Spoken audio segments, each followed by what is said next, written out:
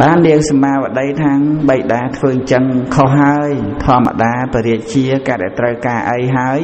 គឺមិនត្រូវថាទេទេណាធ្លាប់ដឹងមកអំណាចស្ដេចណាណាស្ដេចចឹងថាបៃតាកុំបារម្ភឡើយប្រសិនបើពរាជាព្រមទទួលខ្ញុំ និងបរិវាររបស់ខ្ញុំបៃតាប្រគល់ឲ្យទៅបានខុសកសិទ្ធិថាអើប្រសិនបើ កូនឯង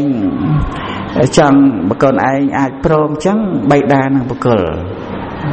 បានផ្ញើសារទៅពរាជាទៅពរាជាថាអតីយើងព្រមទទួលយក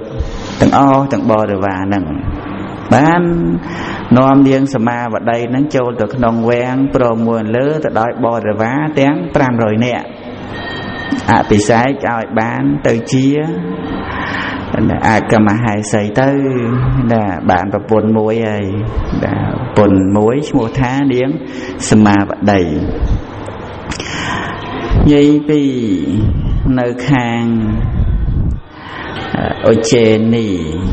អុចេនីនគរនគរអុចេនីហ្នឹងមានព្រះរាជាមួយអង្គព្រះរាជាហ្នឹងមានពលាមថា ចន្ទបជោតដែលដល់រឿងចន្ទបជោតម្ដងណាចន្ទបជោតហ្នឹងសបាយចិត្តខ្លួនឯងមានទ្រព្យសម្បត្តិមានអិសរិយយស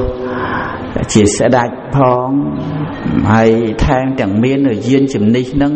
លឿនលឿនទៀតផងដំរីនោះគ្រាន់តែដើរមួយថ្ងៃបាន 50យោជន៍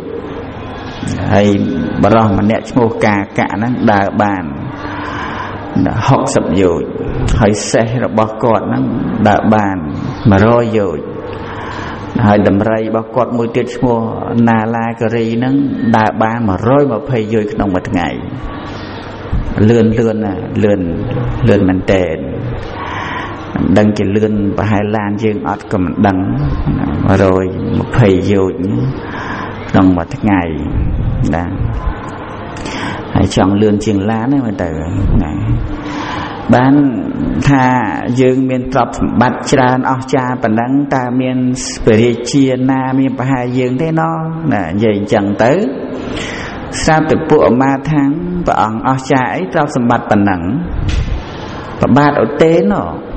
មានសម្បត្តិស្ដុកស្ដំជាងនឹងច្រើនណាណាប្រាប់ទៅអញ្ចឹងអញ្ចឹងយើងទៅចាប់ប្របាទឧទេមកនេះចាប់បានទេព្រះអង្គចាប់បានទេហេតុអីបានចាប់បានព្រោះឧទេនឹងចេះរាជរាយមុនចាប់ដំរីដេញដំរីសម្បើមណាព្រះអង្គចាប់បានទេហើយយើងធ្វើមកចាប់អូទេនឹងបានទៅ ហេបើសិនបើព្រះអង្គចង់ចាប់ទូបង្គំមានអបាយអាធ្វើអបាយយ៉ាងម៉េចព្រះអង្គឲ្យគេចាត់ចែង